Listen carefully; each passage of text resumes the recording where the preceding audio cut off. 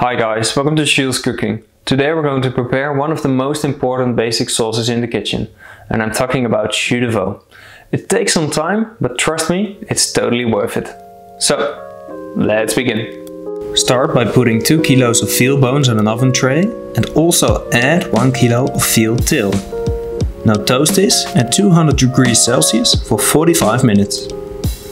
Meanwhile, clean 3 big onions and chop them in thick slices.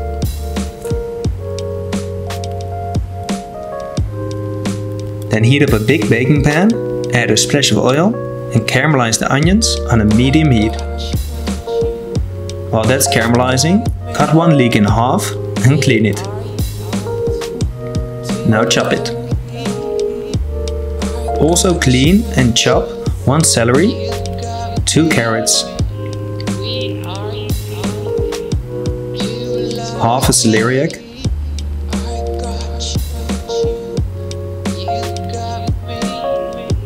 and two bulbs of garlic.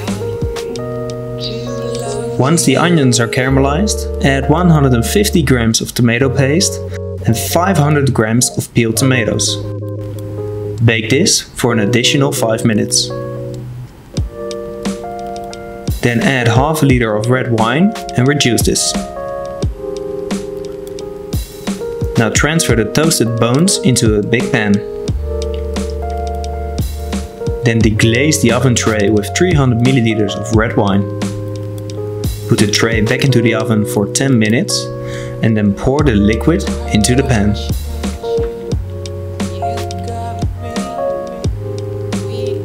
Now submerge the bones completely with cold water and then bring it to a boil. Once it's boiling, turn down the heat and remove any fat and foam using a ladle. Now add the tomato mixture together with the cut vegetables, the garlic, 10 sprigs of thyme, 4 leaves of bay leaf and 20 pepper grains. Let this simmer for 20 hours. Then drain it and let it drip for half an hour so you don't waste any sauce. After that, put it through a fine sieve. Now bring it to a boil and reduce it till two-thirds.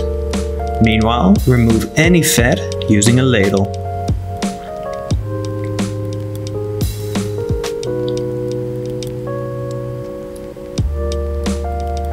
Now put it through a sieve once more and then it's ready to be used.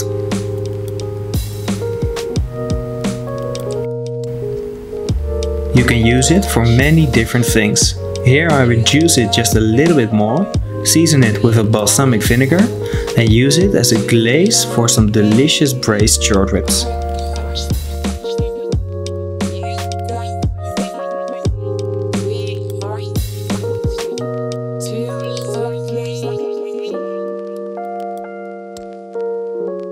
Okay guys, that's it for today. I hope you've enjoyed the video. So don't forget to like and share it and subscribe if you want to see more. वनपति